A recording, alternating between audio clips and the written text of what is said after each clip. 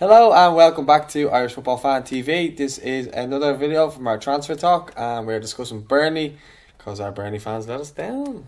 Yeah, pretty But much. anyway, we'll get you guys on again, don't you worry. Yeah, exactly. Um, yeah, so I suppose we'll kick things off. Well, we did bring the jersey for them, so Yeah, um, Jersey there. So represent. You know, it is what it is. Do you want to point to it there, Josh?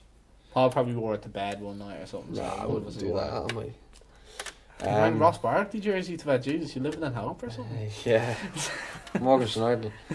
um, so I suppose we kicked it off with who, who kind of who they signed. I mean, well, well we have um, their other jersey here, their away jersey Yeah, sort of away jersey. It might be their home jersey by the end of the transfer window. Let's be fair. Yeah. So obviously they signed uh, Jonathan Walters, which is a great sign, I think, for him and for them. Yeah. Uh, they seem like they're lacking a player, and it seems as though if he does go there, he'll play down the middle. Yeah, um, I think that's good for Walters at this stage of his career. Um, in More the pre- utility, it's so. isn't it? I- yeah, in the Premier League, like he's he doesn't have the legs to be a right winger with fullbacks bombing forward all the time. Like he's obviously he worked hard, but I don't think he can be as effective Yeah. out on the right wing as he probably was five years ago. Um, so I think even at that, he wasn't consistently great on the right hand wing.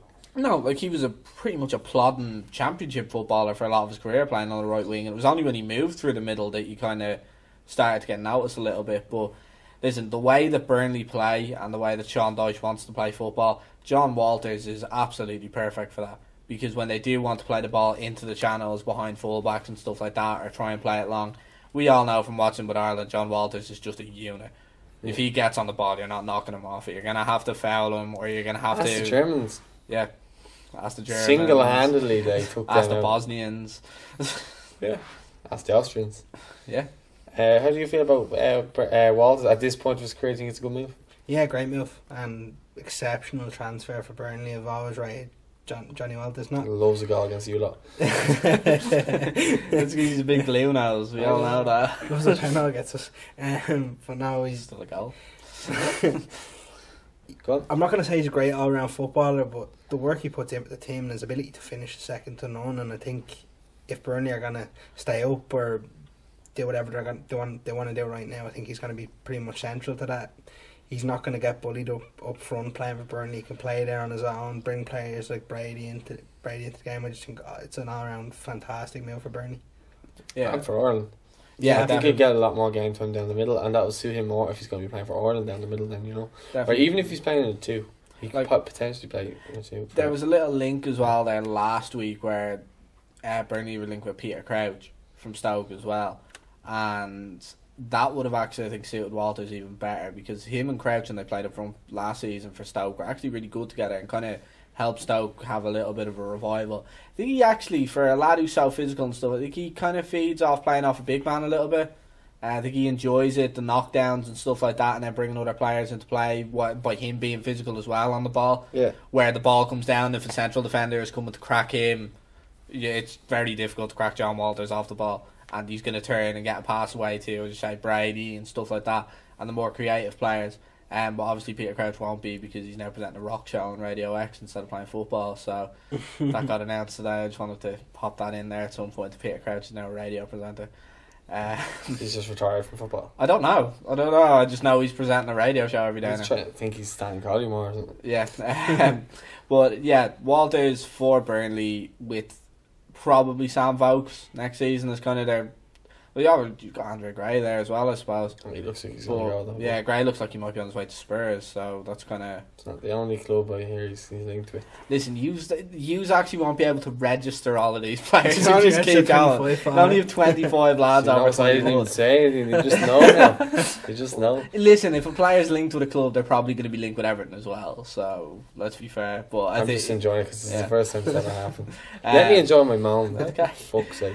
But yeah, now Gray looks like he might be on his way to Spurs, kind of back up Kane, and when you're backing up Harry Kane, Kane will get injured at some point during the season. Yeah, well. Janssen there, though. I think Yeah. he might have a better season than last year. I don't know. uh, Janssen for me is another one of he's another Afonso Alves where he'll score goals in the Dutch league, but he won't do a lot anywhere else. And I don't think he's got the pace for the Premier League or the physicality. Um, But in a Burnley sense, if Gray was to go, Walters is a downgrade on Andre Gray in a lot of ways, but in an experience and for me a big game mentality, he's probably an upgrade. Um, Gray seemed to score a lot of goals against the smaller teams last year when he did get his goals. So I think Walters is probably an upgrade on Gray. Yeah. Um, in that sense. I suppose um, we'll, we'll stick on to the transfers that they brought in anyway. The other one is obviously Charlie Taylor from Leeds. Yeah, Uh, left back. Um, handsome man. He is. He is. He He's a looks, he handsome. looks He's got a quite, great barn. he looks quite like you. To be fair. Oh, you. Yeah. Uh, no, he's got a nice barn though. Um, Left back. Um, uh, what does this mean for Stephen Ward? Um, they've probably just signed the best left back in the championship from last season. Maybe Chris Lowe from Huddersfield is kind of there with him, but they're definitely they were definitely the best two left fulls in the championship last year. Taylor is a Taylor's a good crosser of the ball. He's good with the ball at his feet and going forward. He's a good defender. Um, they've got him. I think the tribunal is probably going to end up with five million for him with this stupid thing where a player under twenty three has to go for a transfer fee even if they're on a free transfer. Um, if the club happens to appeal it, which Leeds have. Um, Blind. but Ta- like I think Taylor is going to come in, and that will probably single signal the end of Stephen Ward as a starter at Burnley.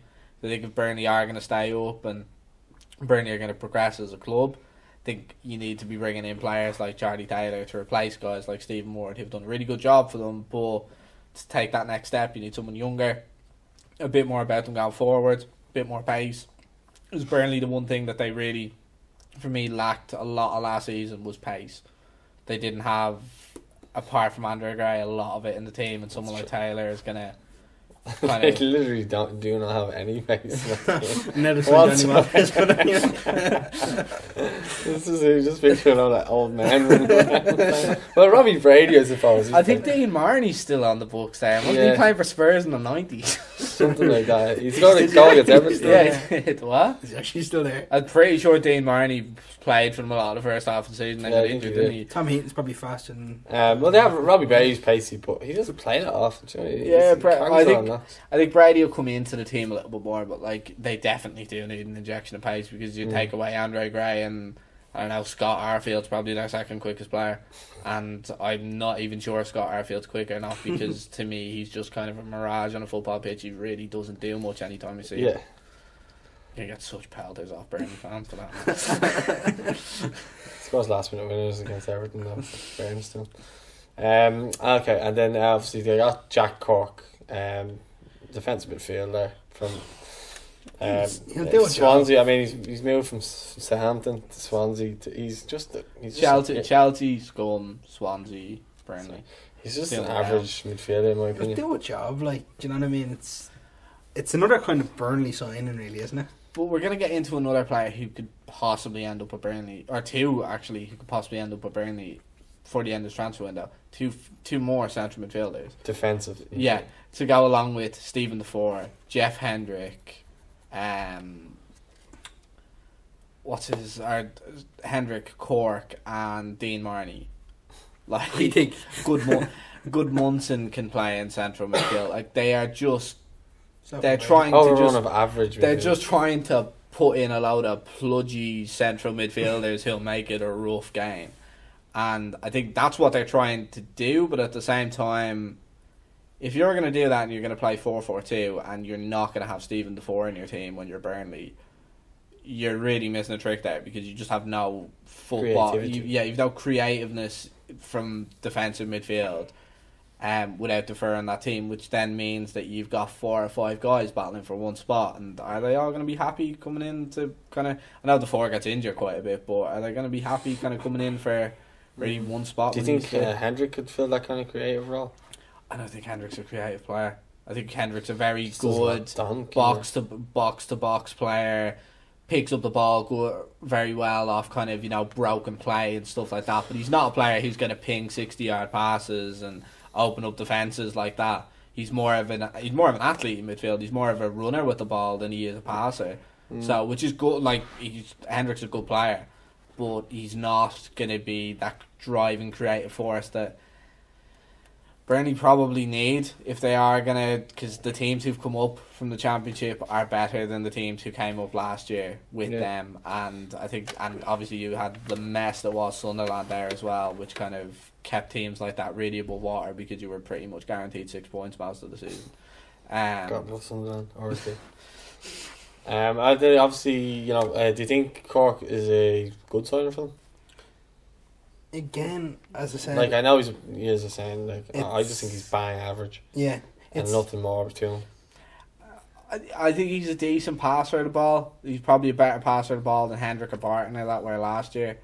Um, but again, he's just another defensive minded central midfielder. He's not going to drift into the 10 role or, you know, go on marauding runs or play clinical last bit passing. It just seems more and more like Burnley are trying to get right, let's win the ball back in defensive midfield let's spread it to our fullbacks and then let's play it as long as we possibly can to Sam Vokes and I hope to God that Walters or Hendrick picks up the knockdown, plays it to Brady and Brady does something.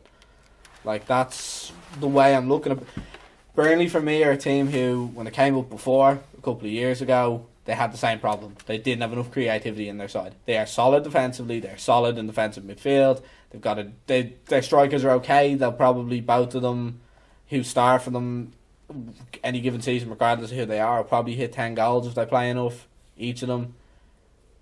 But they miss that next part to really push them forward in games. And if they don't address that, it's going to be a really long second season for Burnley because they look like they look like prime candidates for a second season syndrome.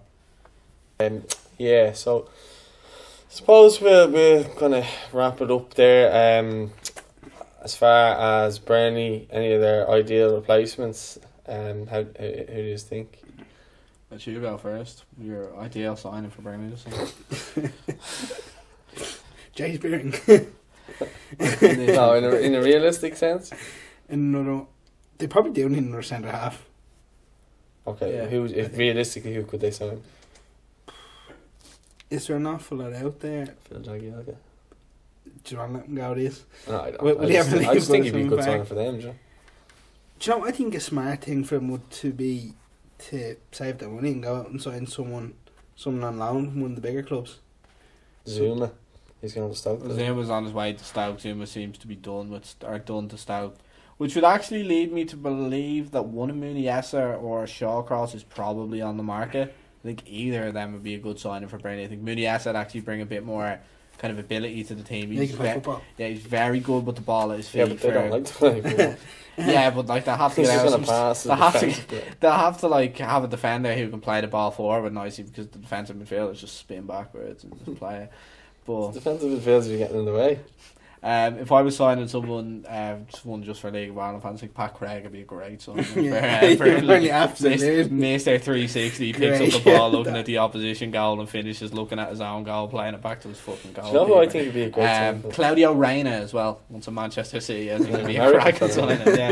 Yeah, I, I know think he's Jack- director of football at New York City FC now, but get him out, get him and Vieira out of retirement, stick the two of them in midfield. Would you not put uh, Jack Rodwell in there just to pass the ball backwards or sideways? yeah, but Burnley want to win football matches.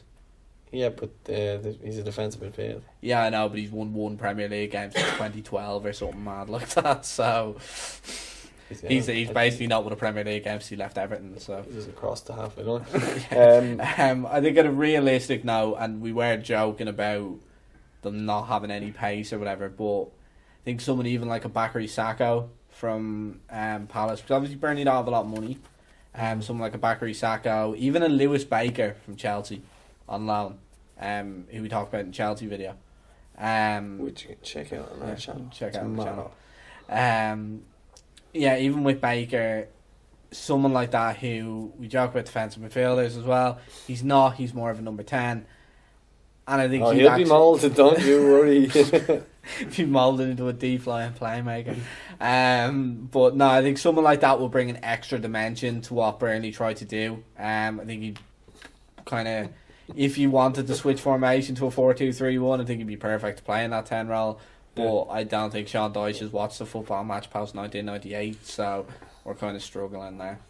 Actually, do you know we were saying? Poor man's David Moyes. The poor man's Pulis. I think. You know, I think that I ideal sign someone who they could realistically get in the league. Gareth Barry. Oh, Gareth Barry Yeah, is great an show. absolute show. Uh, no, but I was Bare thinking. yellow cards. I was thinking more of a. a, Charlie a Adam, no? I was thinking more of. A, I was thinking more of an attacking midfielder. Um, do you know who would be a great signing for them? I don't think he'd ever go. Is uh, Nacer Chadli? Yeah. I think he'd be a great signing for for Burnley. Yeah, someone like him, even as you know, as cliche and stupid as it'll sound coming from an Irish sense, James McLean. If he's not going to start games for West Brom, imagine putting him in that left hand side. and just I mean, ki- and just hoofing balls long behind the right back, having Walters chase and have McLean follow it up. mm, That's terrifying for any right back in the league. Kyle Walker won't like that. yeah, but Well, Kyle Walker will have to Kyle turn Walker. backwards, which he doesn't like to begin with. So have to go Kyle- back and do Kyle some Walker It's a hard time, but anyway. Um, if you think we've missed out on any defensive midfielders that you'd like to sign for, I'm only joking. If you think of, uh, we've left out anybody, um, anyone that you think that realistically Burnley can sign, because there hasn't been much that they've been linked with. Um, do leave a comment below, or if you if you're more in the know than us about Burnley, um, and, you just- do know that they're about to sign someone, do let us know. I mean, Just for the record as well, for all our joking and stuff, I do actually think Burnley will just about stay up this season.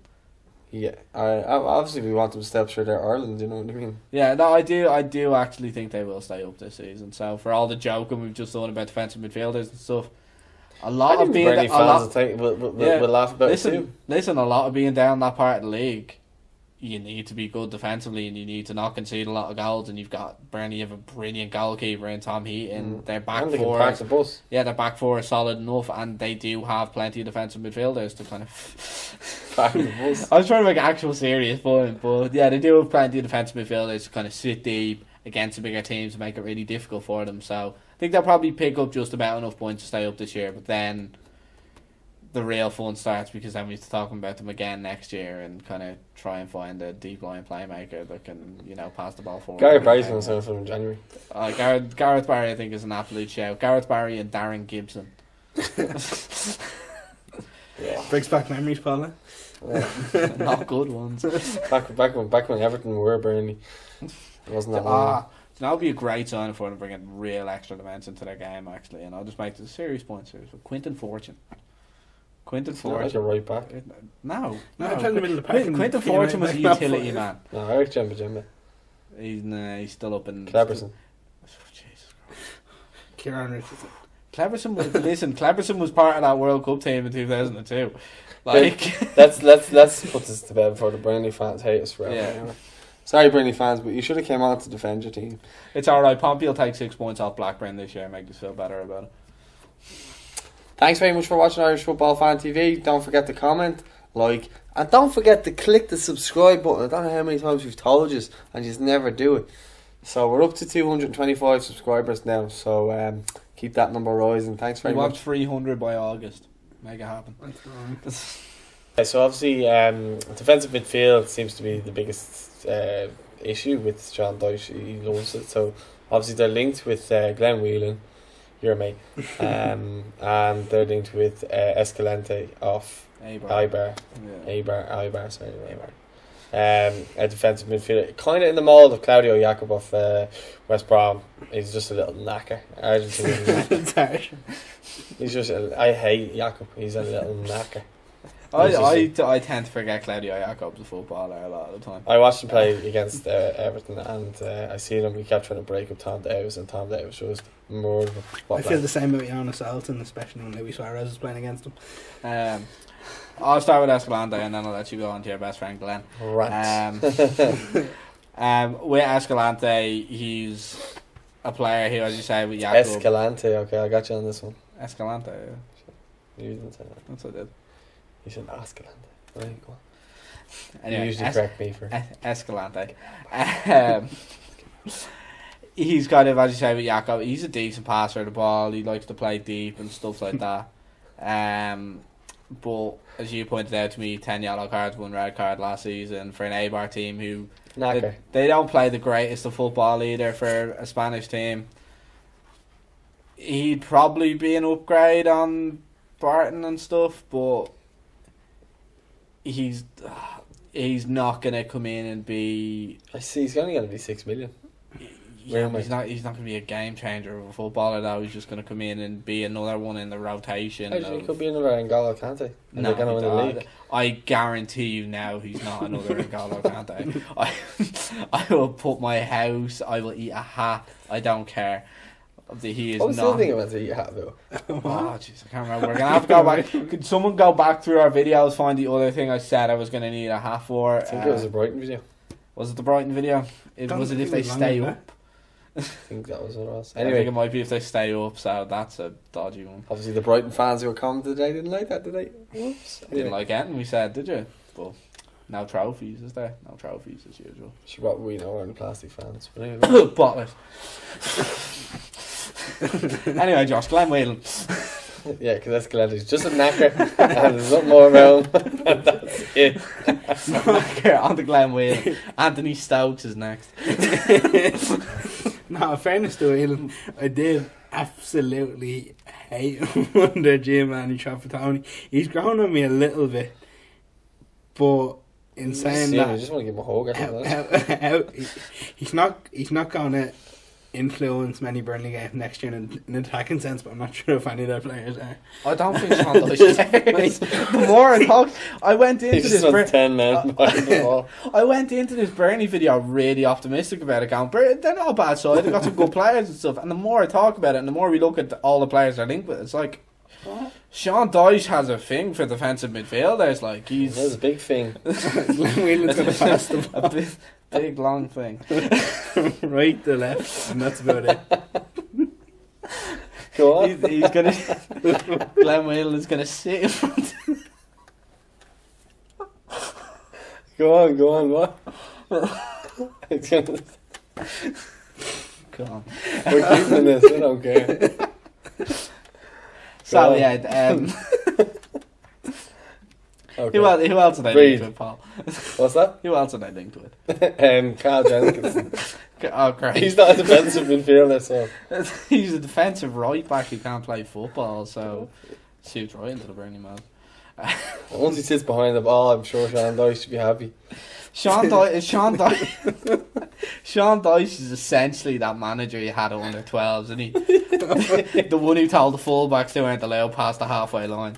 He's essentially that He's manager. actually a poor man's David Moyes. Yeah, a little bit. A little bit. Although he looks a little bit more optimistic than David Moyes. I was close to giving David Moyes the Samaritans number a couple of times last year. Like, so he's a little bit more upbeat Not than that. necessarily. Yeah, I think that I Moyes actually, more um, attacking midfielders. yeah, but they they were like Steven Pienaar and stuff like that. So that's not really attacking midfielders. That's signing the old age pensioners. He should be back in the South African league. And this Adnan point.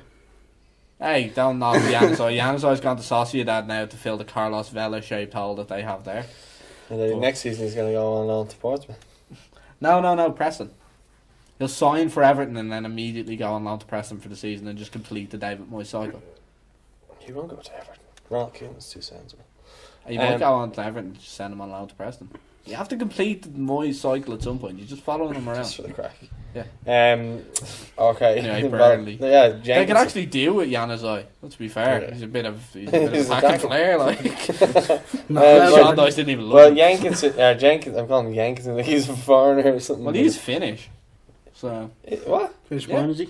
he's a Finnish under twenty one international, and then an England under twenty one international. It's bizarre for me, but anyway. Um. Yeah. Well, anyway. Uh, yeah. They don't really have much coming in the door there. I mean, anything that does is probably protecting the door there. Anyway. Um. Sitting deep in front of the door. Spraying past 10 yards. Anyway, we're talking about the biggest Any, loss. any Burnley fans who are watching this are never coming on to this show now. Listen, please come on and defend Burnley, like, because I actually like them as a They've club. only and got they've like only what they're played doing. centre of the defensive midfield. anyway, yeah, but we'll go on to the the biggest loss of the um probably the transfer market and it was Joey Barton. Michael Keane. No, Joey Barton. Sits in front of that back four, lovely. Yeah, well, he he leading by example. Yeah, leading by example. 10 euro accumulator. yeah. Well, as far as uh, Burnley, no, no, to, no, Burnley to win. in and- all seriousness, Yeah. um, Keane was a big loss for them. He was a Yeah. rock for them last last season. Um, we all know that. Every every person who followed the league last year would know that. Yeah. Um, they haven't like I know they're signing all these defensive midfielders, but they haven't signed a centre back to replace. Well, I think I I honestly think Kevin Long is probably just going to slot in there. but yeah, Kevin Long has been fairly solid.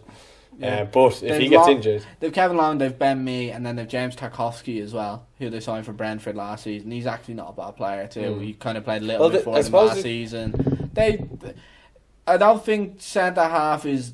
they're gonna have enough protection either way. exactly. I think we could probably play centre half, and we'd have loads of protection. And they sit deep anyway, so yeah, we wouldn't have that about much five of them. yeah. So anyway, um, The team next year is gonna be Heaton, Lowton, Long, Mee, Taylor, and then just six defensive and midfield. Jenkinson, and then John Walters. That's it. Jenkinson is Jenkinson and Ward as defensive wingers. Yeah. Um, but obviously they got rid of George Boyd, who's been, been a big player from the last couple of years. He's gone to Sheffield Wednesday. Uh, I think it's the right time for him to kind of move on. There wasn't much going on for him. He was there a long time. Um, I think Walters, in his work rate, is gonna kind of do similar things for Burnley, but I, I think in term, I don't think know, George George- Boyd probably has a little bit George- more about him technically. Oh, George Boyd just used to come out and run half marathons for Burnley every week. Like he would just be up and down, he's just all over the place for them. Was that the He's, problem? Was it? I think that might have actually been the problem. I think he might have been running marathons before the games. But, Like George Boyd, uh, George Boyd when he was at um, he ran forward. when he was at Pe- when he was at Peterborough and when he was at Hull, he was actually quite a good technical player. Scored a lot of goals.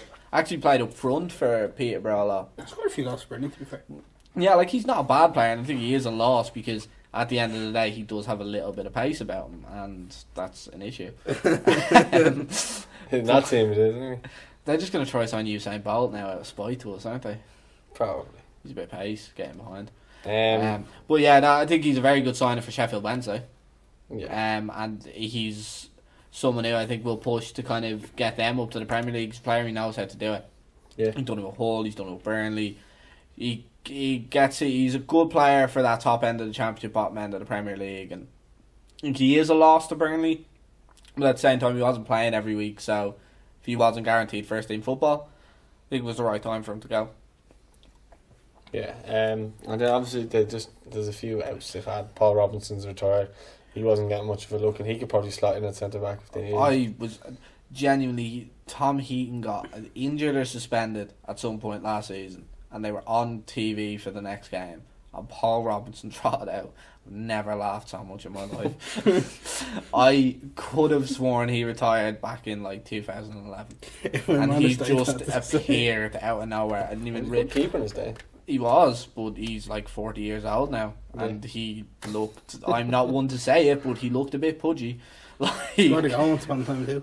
Yeah, he's got more assists than Pogba in the Premier League. So there you go. There's Yeah. a fact. Check it out. He's got five. Pogba's got four. Yeah, but you know, you're playing for Burnley, so you're just here from the ball along to Sam Vokes and nobody gets a free Yeah, but I'm not talking about in the Premier League. I'm just I'm talking about. Yeah, right, sorry, yeah, I'm talking about the Premier League. Oh, right, okay, so he's got more than Pogba like when he was at Spurs and stuff, Yeah. and oh, okay, it's good Um, stuff. It's good yeah. knowledge, Paul. And then, um, so there you go. And then, um, obviously, then yeah, man, uh, Henning there.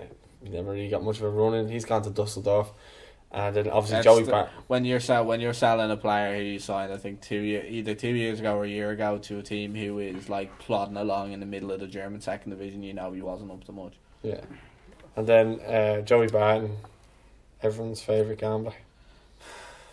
I want to t- like I would say I want to tip off him, but if he was still having to like play football for Rangers and Burnley and stuff, he must not have been that good at betting. So Yeah, and I don't think he's much of a loss. Let's be fair. Uh, he was a he's more decent. trouble than he's worth. He's a decent player in his day, but I was surprised when Burnley took him back. I think Sean Dyche just liked him around the dressing room and stuff. I think he thought he was a good lad.